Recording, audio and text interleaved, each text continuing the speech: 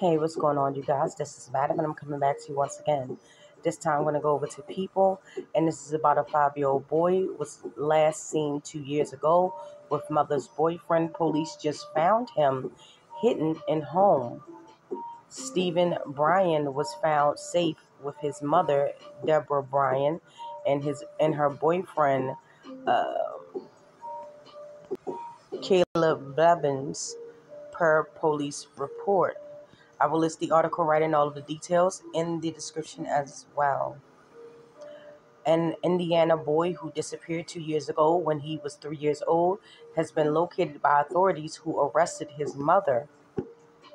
Steven Bryan, now five, was missing on June 9, 2022, and was suspected to be with his mother's, uh, Deborah Bryan's, according to the National Center for Missing and Exploited Children. He has been found safe per authorities. Steven was last seen with Deborah's boyfriend, Caleb Bevins, in July of 2022, Fox 59 previously reported, uh, citing Indiana State Police. Steven's date of disappearance is reported differently in some news outlets, but the National Centers for Missing and Exploited Children has Steven listed as missing since June 2022. Deborah, age 31, allegedly took Steven from her Mooresville, Indiana home and cut off contact with the children's father, Tyler Bryant, people previously reported. More than two years later, on Tuesday, July 9th, authorities located uh, Steven alongside Deborah and Bevins at a residence in Bloomington, Indiana, the Mooresville Police Department said in a statement, according to WRTV 21, Alive and News, and Fox 59.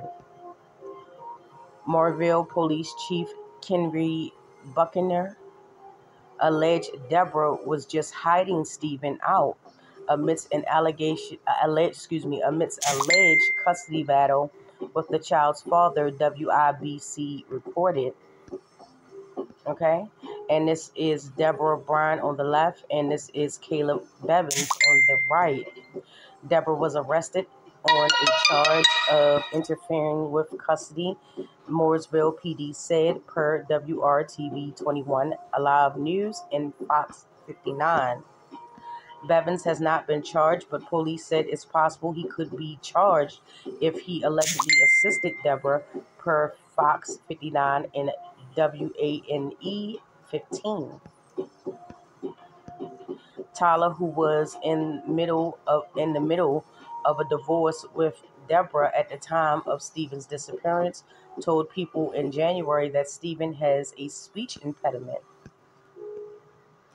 He couldn't really speak. I don't know if that's uh, gotten better, Tyler said at the time.